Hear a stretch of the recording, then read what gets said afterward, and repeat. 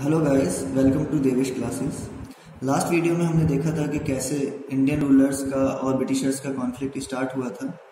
और आज का हमारा टॉपिक है East India Company begins trade in Bengal कैसे ब्रिटिश ईस्ट इंडिया कंपनी ने बंगाल में ट्रेड स्टार्ट किया।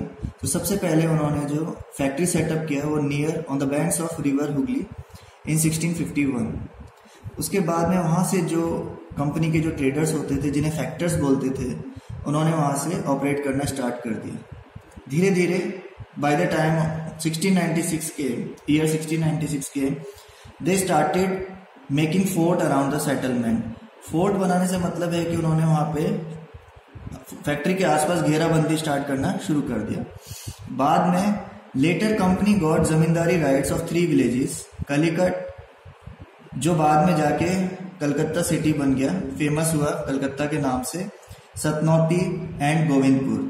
जमींदारी राइट से मतलब है कि कंपनी जो एक प्राइवेट कंपनी है, वो यहाँ पे अब ज़मीन वगैरह ओन कर सकती है लैंड खरीद सकती है और अपना जो है ट्रेड वगैरह यहाँ कर सकती है।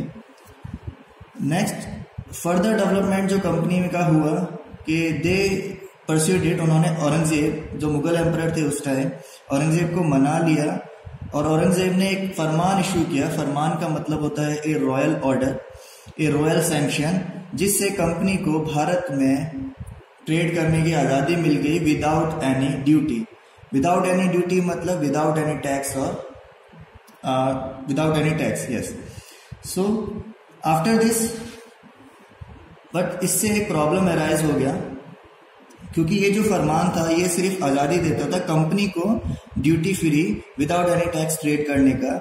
लेकिन जो कंपनी के ऑफिशियल्स थे they also started refusing to pay duty on their private trade वो लोग क्या करते थे, जो कंपनी के ऑफिसर्स थे, वो भी जो टैक्स है, जो ड्यूटी है, वो मुगल एम्पर को देने से मना करने लगे। तो इसकी वजह से क्या हुआ कि जो बंगाल का जो प्रोविंस है, क्योंकि हम देख रहे हैं कि ये जो शुरुआत उन्होंने ट्रेड की करी, वो बंगाल में करी है अभी। बंगाल में कैसे उन्होंने शुरुआत करी? तो इसकी वजह से क्या हुआ कि कंपनी के साथ साथ जो कंपनी के ऑफिशियल्स थे, उन्होंने भी प्राइवेट ट्रेड जो अपना वो प्राइवेट ट्रेड कर रहे थे अदर देन कंपनी कंपनी के साथ नहीं, अलग वो अपना प्राइवेट ट्रेड करते थे तो उस पर भी वो टैक्स नहीं दे रहे थे, जिसकी वजह से बंगाल को बहुत बड़ा नुकसान हो रहा था रेवेन्यू का, पैसे का बहुत बड़ा नुकसान हो रहा था। इसकी वजह से सीधे सीधे ये जो कंपनी है, प्राइवेट कंपनी है, ब्रिटिश ईस्ट इंडिया कंपनी, उनका बंगाल के रूलर्स के साथ कॉन्फ्लिक्ट स्टार्ट हो गया। और यहीं से हमें देखना है आगे कि कैसे बंगाल के रूलर्स के साथ उनका जो डिस्प्यूट है वो बढ़ता गया इंक्रीज होता गया। नाउ इससे आगे डिस्प्यूट को देखने से पहले हम देखते हैं कि उस टाइम बंगाल में जो फ़ेमस रूलर्स थे वो कौन कौन से थे?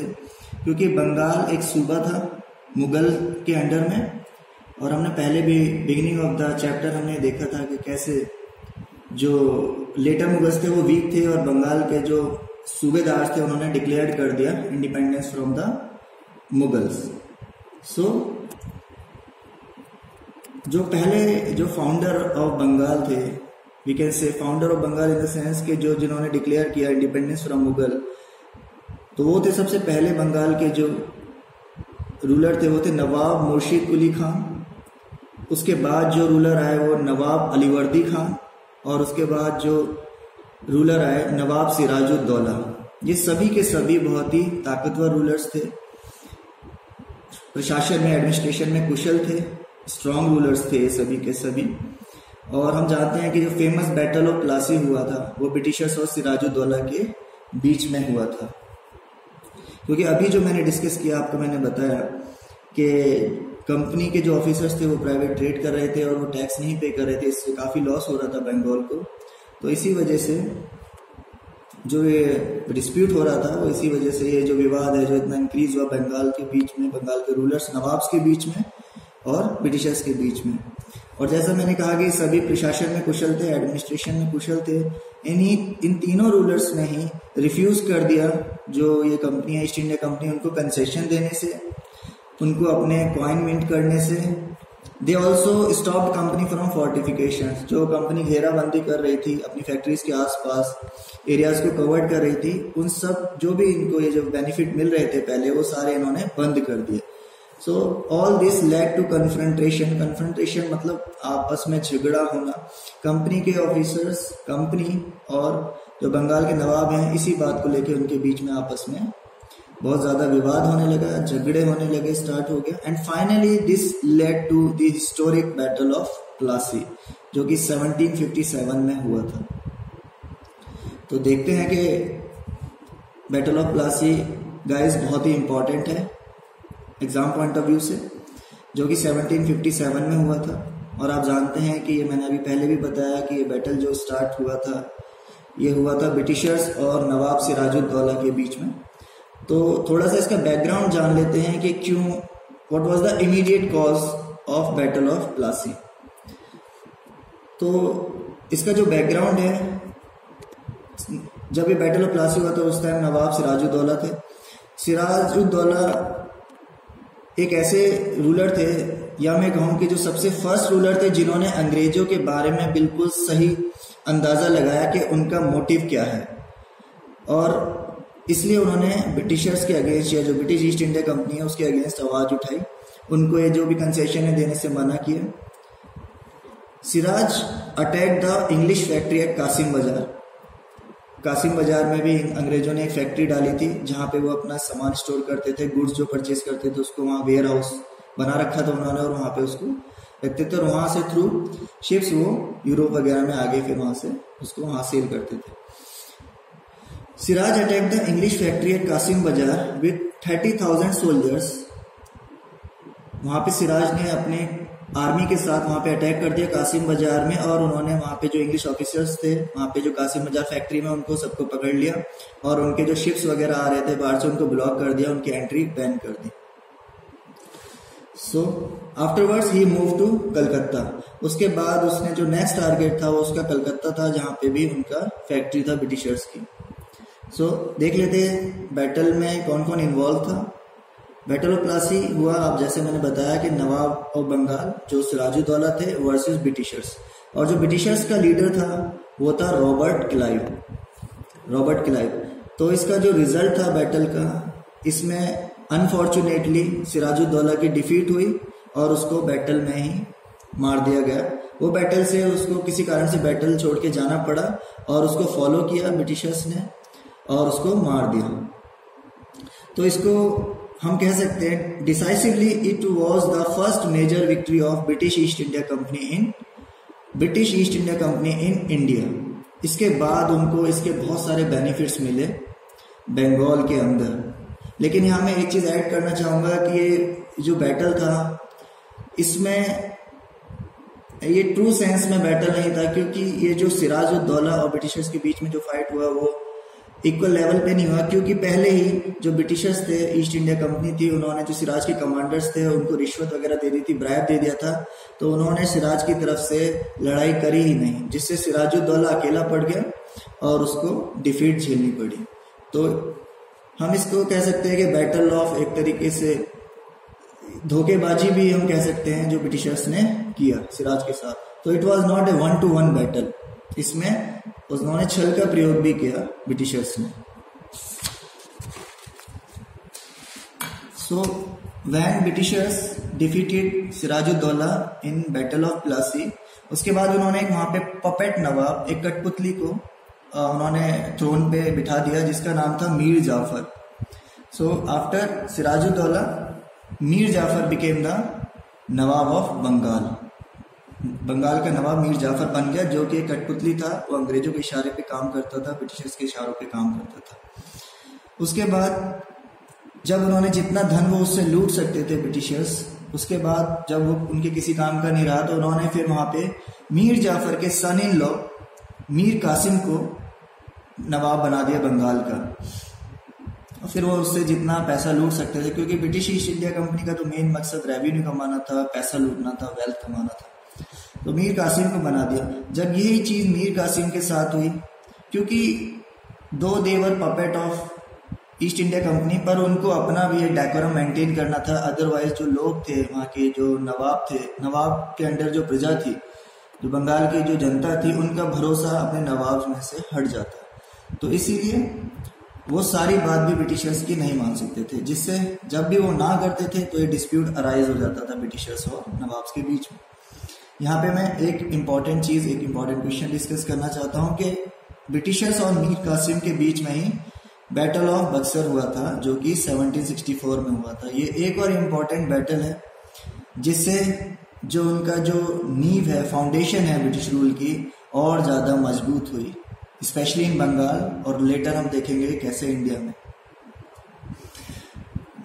इसमें बैटल ऑफ़ बक्सर में Britishers versus Mir Kasim versus Mughal king ये तीनों एक साथ थे मीर कासिम मुगल किंग और नवाब ऑफ़ अवध अवध शुजाउद्दौला ये तीनों की एक आर्मी थी और ये ब्रिटिशर्स के साथ लड़े। उसके बाद भी ये बैटल हार गए। 1764 में बैटल हुआ था।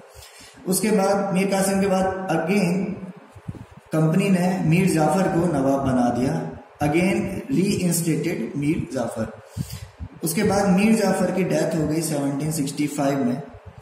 सो so, मीर जाफ़र जब तक नवाब रहा बंगाल का वो अंग्रेज़ों की कठपुतली रहा और ब्रिटिशर्स ने उससे खूब सारा पैसा कमाया। Mir Jafar had to pay rupees five lakh every month but the company wanted more to finance its war for trade etcetera तो इसी को, इसी कॉन्टेक्स्ट में रॉबर्ट क्लाइव ने एक स्टेटमेंट दिया है जो कि बहुत इंपॉर्टेंट है। क्वेश्चन एग्ज़ाम से पूछ भी सकते हैं। आपको ये पता है कि we must indeed became nawab ourselves तो क्लाइव ने कहा कि सच में रियली हमें खुद नवाब बन जाना चाहिए। आफ्टरवर्ड्स हम देखते हैं इन 1765 मुगल एम्पर जो कि बैटल ऑफ़ बक्सर में हार गया था उसके पास कोई और ऑप्शन नहीं था। Mughal emperor appointed company as the diwan of the provinces of Bengal company को बंगाल का दीवान बना दिया। दीवान से मतलब है कि जिसका काम है रेवेन्यू कलेक्ट करना। और इसी को बोलते हैं रेवेन्यू कलेक्शन को बोलते हैं diwani. D I W N I diwani means the right of company to collect revenue from Bengal और यही कंपनी चाहती थी कि सारा का सारा जो पैसा है, जो रेवेन्यू कलेक्ट करने का राइट है, उसके पास चली जाए, जिससे इस पैसे से अब क्या होगा कि वो अपने जो भी वो युद्ध लड़ रहे बैटल लड़ रहे हैं इंडिया में और कहीं और, उनको फाइनेंस कर सकते हैं, अपने ट्रेड के लिए जो उन्हें पैसा चाहिए, वो पैसा अब उन्हें यहाँ से मिल जाएगा। क्योंकि पहले क्या होता था कि कंपनी इंडिया से जो भी गुड्स वगैरह परचेज कर रही है, उसके लिए वो गोल्ड या सिल्वर में पेमेंट करती थी और वो इम्पोर्ट करती थी गोल्ड एंड सिल्वर ब्रिटेन से। तो इससे हो क्या रहा था कि जो ब्रिटेन से है ना गोल्ड है वो बाहर जा रहा था। The outflow of gold from Britain slowed after the battle of Plassey तो इसमें हमने यही देखा कि बैटल ऑफ़ प्लासी के बाद जब उनके पास बहुत सारा पैसा आने लगा, वो यहाँ के लोगों से पैसा लूटने लगे, यहाँ के नवाब से पैसा लेने लगे तो उसके बाद उन्हें अब ये ज़रूरत नहीं थी कि वो ब्रिटेन से गोल्ड इंपोर्ट करें या सिल्वर इंपोर्ट करें और पेमेंट करें। तो यहाँ से जो भी इंडिया से वो गुड्स खरीदते थे, उसका पेमेंट अब वो यही इसी के पैसे से इंडियन रुपी से ही करने लगे थे। तो इससे इनको डबल बेनिफिट होने लगा, क्योंकि जो बाहर से उनको गोल्ड इम्पोर्ट करना था, अब उसे उनमें पेमेंट नहीं करनी है। और यहाँ से जो गुड्स वो परचेज कर रहे हैं, उसके लिए वो इंडियन रुपी को ही यूज़ कर रहे हैं। तो ये पॉइंट भी बहुत इंपॉर्टेंट है कि आफ्टर बैटल ऑफ़ प्लासी जो आउटफ्लो ऑफ़ गोल्ड है ब्रिटेन से वो बिल्कुल बंद हो गया, कम हो गया। तो हमने देखा कि फ़ायदा क्या हुआ बंगाल को जीतने का। बंगाल में उन्होंने इतने युद्ध लड़े, दो बैटल लड़े, जो कि बहुत हिस्टोरिक है। Battle of Plassey 1757 and battle of Buxar 1764 दोनों नवाब ऑफ़ बंगाल के अगेंस्ट उन्होंने लड़े। दोनों में अनफॉर्चुनेटली ब्रिटिशर्स की ही जीत हुई।